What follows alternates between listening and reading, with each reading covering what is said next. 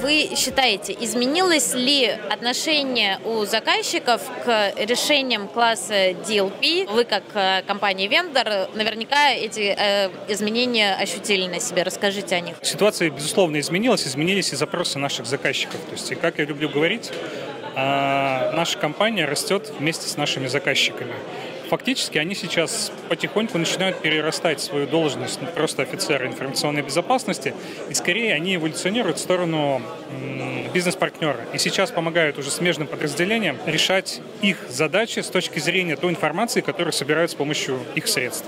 И это с одной стороны. А с другой стороны, а, мы сейчас наблюдаем просто взрыв технологический такой со стороны мессенджеров, коммуникаторов, которые начали использовать наши клиенты, и это создает нам определенные трудности. Тем не менее, мы как компания смогли мобилизоваться и выпустить а, технологию, которую мы называем Application Monitor. Это способ э, взять под контроль за очень короткий промежуток времени любое произвольное приложение. В том числе там у нас были успешные кейсы внедрения, там взятия под контроль системы электронного документооборота. И в целом вот эта новая технология Application Monitor, она парировала вот этот вызов со стороны рынка, где потребовалось контролировать сразу много мессенджеров. Какие векторы развития сейчас видит для себя компания InfoWatch? А, мы сейчас понимаем, что технологии становятся все сложнее, да, они становятся умнее.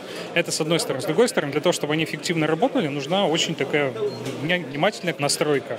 Это с одной стороны. С другой стороны, мы понимаем, что с безопасниками их же собственные коллеги не всегда делятся там документами, которые секретные, которыми нужно следить.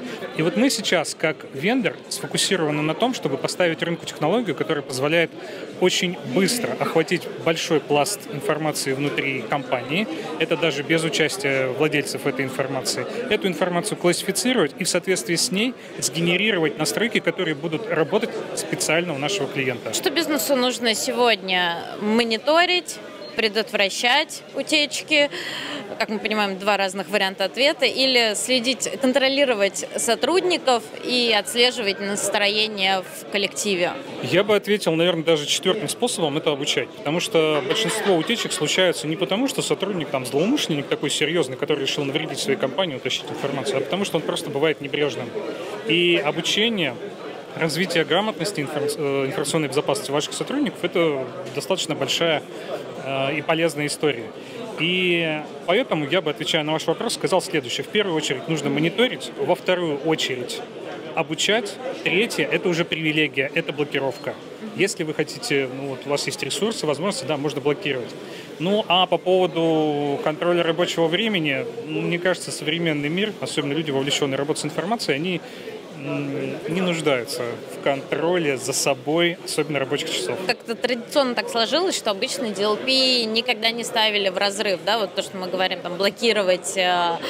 А всегда это просто функция мониторинга. Вот сейчас эта ситуация как-то изменилась или все равно по большей части DLP э, ставится как средство мониторинга, но не, но не prevention вот, вот того самого? Все дело в том, что вот установка системы в разрыв – это привилегия. Почему? Потому что она требует высоких вычислительных ресурсов. Почему? Куда нужны эти ресурсы? Для того, чтобы решение принимать быстро.